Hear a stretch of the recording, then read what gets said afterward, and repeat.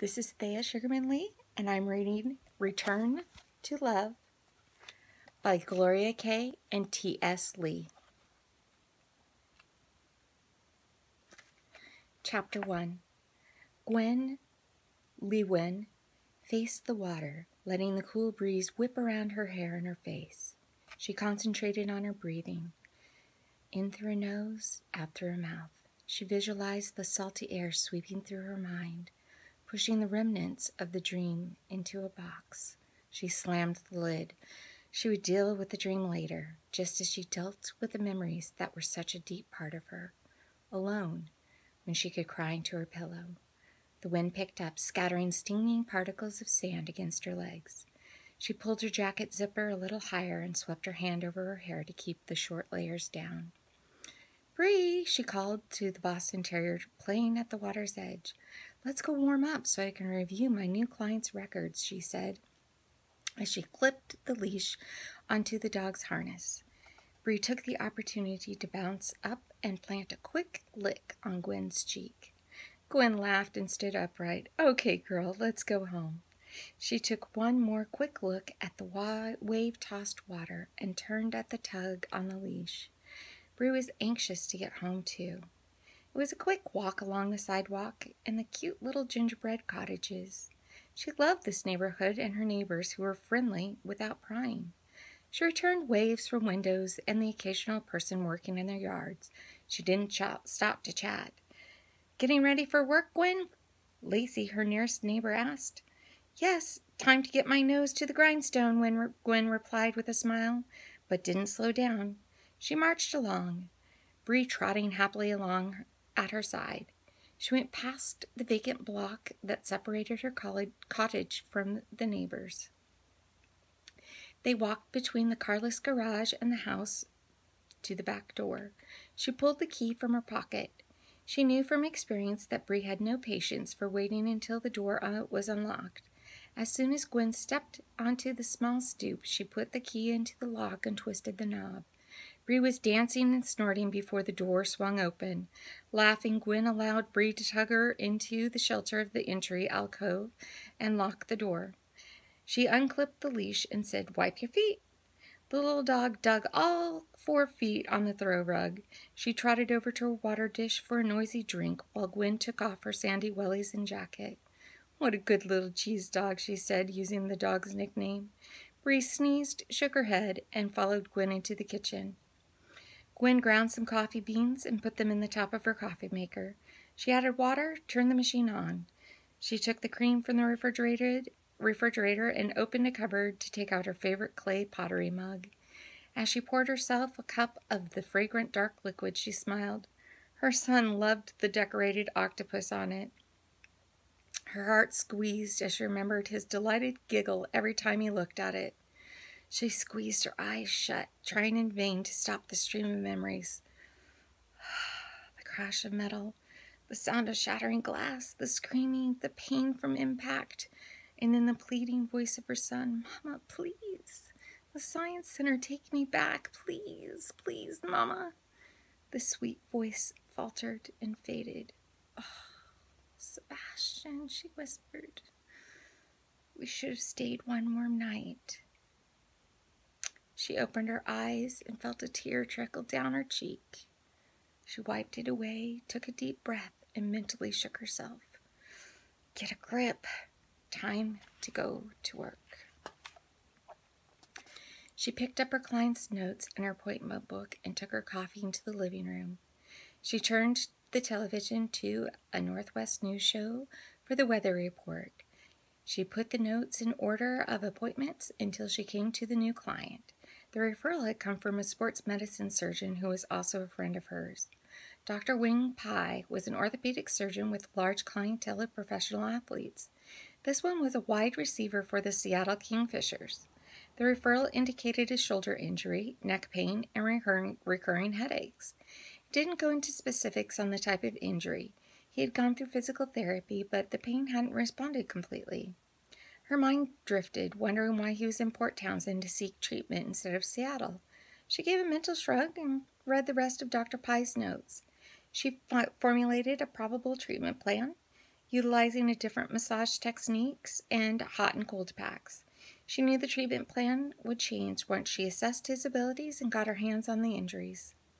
The announcers broke through her thoughts.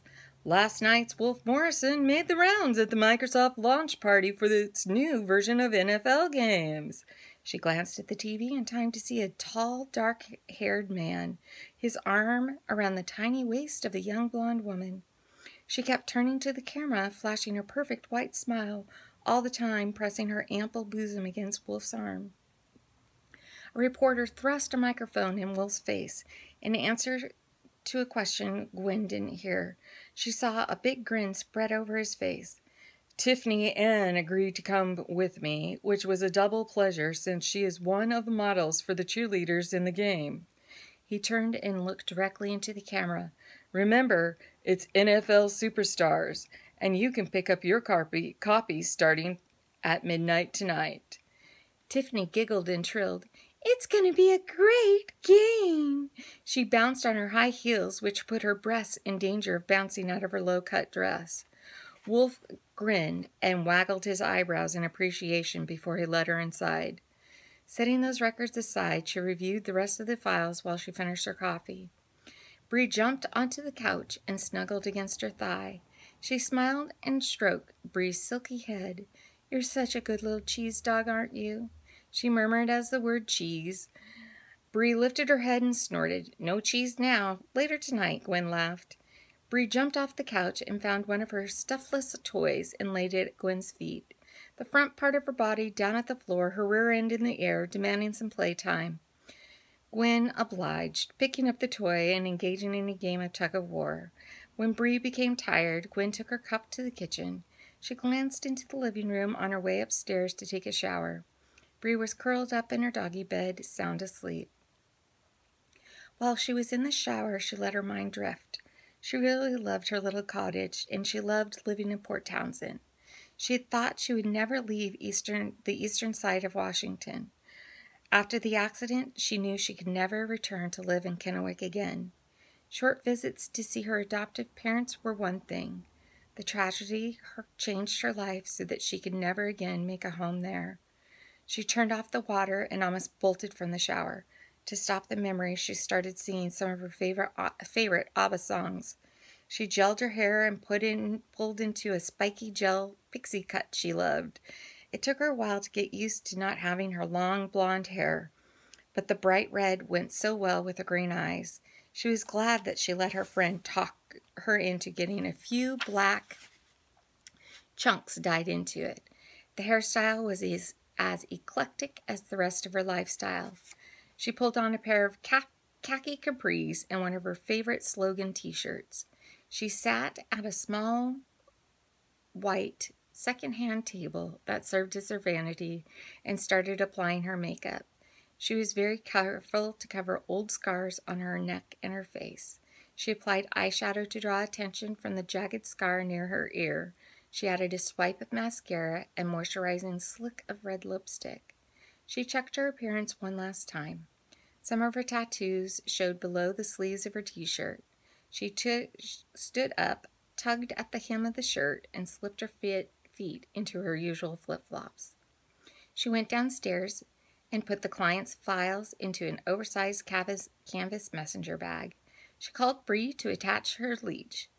She pulled the recycled car seat bell strap over her shoulder and went out the door. When she had recovered enough to move, she had returned to Port Townsend. It was the last place she and her family had been happy. The cottage had just been listed for sale, and she had fallen in love with it at first sight. She knew that not only it was an ideal location for her to live, but also for her massage therapy business. The studio she had built was just a short path from her cottage. As soon as she entered the studio, the calming ambience she had created swept over her. She turned off the alarm and just stood for a moment, soaking it in. Soft eucalyptus green walls showcased local art in soft, muted colors. She always purchased local artists' work wherever she could. That included the messenger bag she carried to work. The buttery leather couch in the waiting room didn't show its age. It had been purchased at an estate sale, and the style, style suited the space. It wasn't so big to be overwhelming, and not so soft that it couldn't exacerbate a client's pain. A desk stood in the corner with a computer and combined printer fax copier on it. A two drawer oak file cabinet was next to it. On the wall next to the desk was a countertop with a sink and a stack of CDs. A stereo system and a display rack for different products she used and sold stood next to the CDs. She placed the client's files from the messenger bag on the desk. The bag itself went into one of the file desk drawers. She turned on the stereo and started rifling through the CDs to see what she wanted to listen to during the day. She pulled out discs for Enigma, Enya, Lindsey Stirling. She decided to add ocean sounds, rainforest sounds, and an instrument oboe discs. She loaded them into the stereo and selected the button for random play. Once the music started, Gwen opened the door to her massage room. She loved the color she had chosen, especially the warm golden yellow she had chosen for the walls. It reflected her artist's soul. With a happy sigh, she opened the top drawer of the vintage walnut dresser to get two white sheets. She put the fitted sheet over the mattress and the electric mattress pad on the table. She topped the flat sheet with a soft cotton blanket and a homemade quilt. End of chapter one.